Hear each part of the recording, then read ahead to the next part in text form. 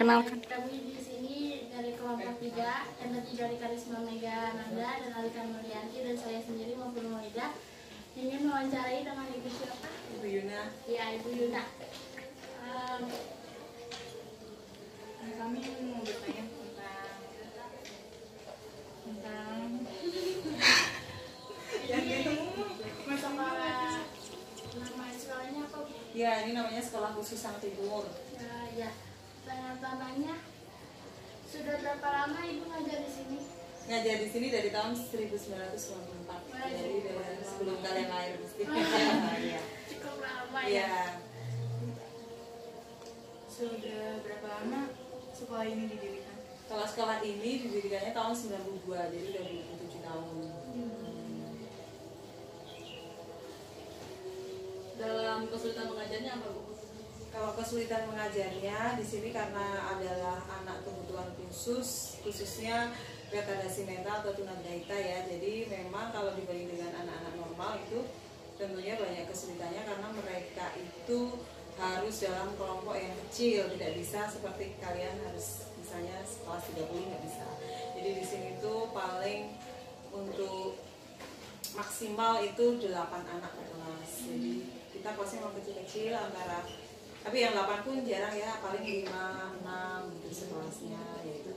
Dan kesulitan mereka biasanya lebih ke tidak bisa mengerti apa yang kita ucapkan dan dia juga tidak mengerti apa yang diinginkannya dia itu biasanya untuk anak-anak awal itu karena mereka terbatasnya kemampuan berpikir itu aja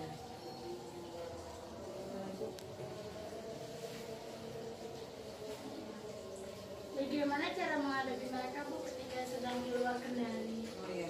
Kalau sedang di luar kendali itu biasanya kita sebutnya tantrum ya. Itu adalah anak-anak yang tiba-tiba bisa ngamuk lah istilahnya nah itu biasanya memang kita amankan dari teman-temannya supaya teman-temannya itu tidak terkena dampaknya. Biasanya kita taruh ruangan yang yang kosong di mana lah yang bisa gitu. Kalau kita pas sendiri nggak bisa ya kita akan mencari bantuan siapa aja lah yang ada orang tua yang lewat apa kita biasanya kalau masih kecil bisa diangkat ya kita angkat gitu.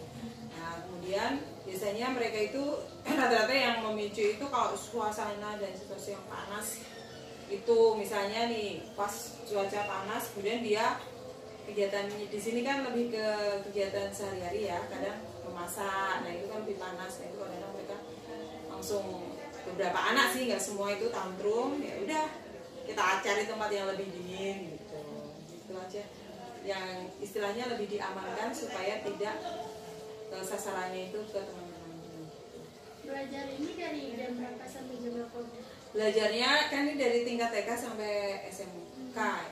kalau dari TK itu sampai jam 10 dari jam 7.30 sampai jam 10 kemudian SD dan SMP 7.30 sampai 12.15 SMK itu 7.30 sampai 12.30 Terima kasih Ibu Ya.